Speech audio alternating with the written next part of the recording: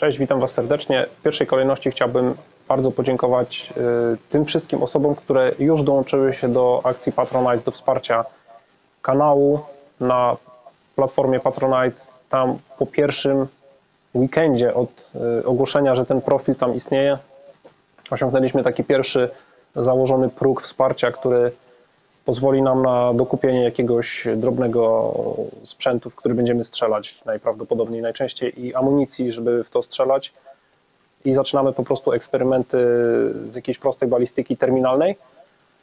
E, jeżeli ktoś z patronów to ogląda, a jeszcze nie dostał powiadomienia, to jest e, ankieta, a właściwie zbieramy propozycje, co byście chcieli zobaczyć w pierwszej kolejności. Jak już jesteśmy przy temacie, to tam jest też otwarta ankieta dla wszystkich. Po prostu można wejść sobie i wybrać temat, który pojawi się na YouTubie w następnej kolejności. Dlatego, że mamy tych propozycji dużo. Yy, ja je do tej pory wybierałem po prostu według swojego własnego gustu, ale jeżeli będzie pewna tendencja, że chcemy w większości to, a nie to, no to jest taka możliwość. Tam ta ankieta jest po prostu dostępna E, dla wszystkich nie trzeba nic tam po prostu wpłacać, e, tylko wejść i zagłosować. Także jeżeli ktoś ma chęć, to fajnie, to zapraszam i będę wdzięczny za pokierowanie, żebym nie musiał robić rosyjskiej ruletki po prostu z tematami filmów i który przetrwa do końca, to zostanie nakręcony, tylko żebyście wybrali to, co chcecie zobaczyć.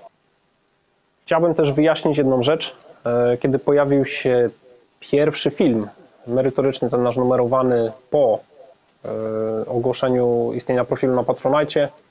Tam był zapis, który widzę, że został, mógł zostać e, zrozumiany nie tak, jak ja zamierzałem, żeby był zrozumiany, by ktoś mi zwrócił uwagę po prostu, że to jakoś brzmi tak e, nerwowo.